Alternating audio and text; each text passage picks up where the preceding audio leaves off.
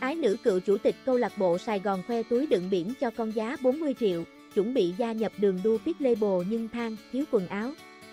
Động thái của nàng V Đức AJ Huyền My, vợ tiền đạo Văn Tuyết, xoay quanh việc chi tiêu cho công cuộc bỉm sữa, gây chú ý trong làng túc cầu Việt.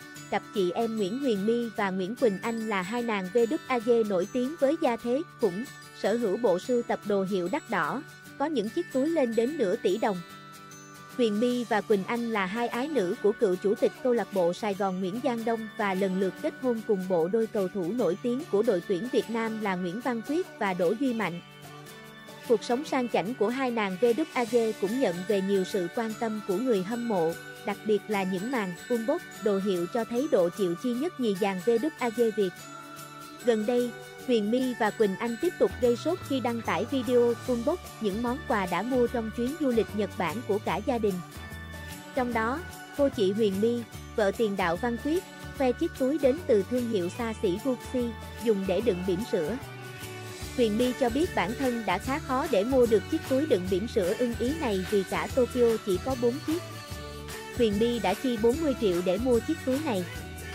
Và cô khẳng định đây mà mức giá hợp lý. Vào tháng 3 năm 2024, Huyền My đã hạ sinh cho Văn Tuyết một cô con gái dễ thương. Cô nàng sau đó luôn bận rộn với công việc bỉm sữa, đồng thời vẫn duy trì việc kinh doanh cùng cô em Nguyễn Quỳnh Anh.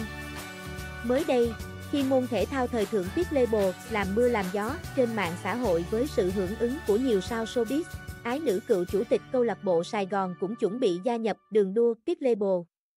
Bà xã Văn Quyết đăng tải hình ảnh sắm vật Pit Label nhưng than thiếu mỗi quần áo. Trong thời điểm người chơi Pit Label đang bị ảnh hưởng một phần vì hình ảnh của hot girl mặc hở bạo ra sân Pit Label. Chia sẻ của Huyền My cũng nhận về nhiều sự chú ý, các bạn hãy đăng ký kênh để cập nhật thông tin miễn phí mới nhất.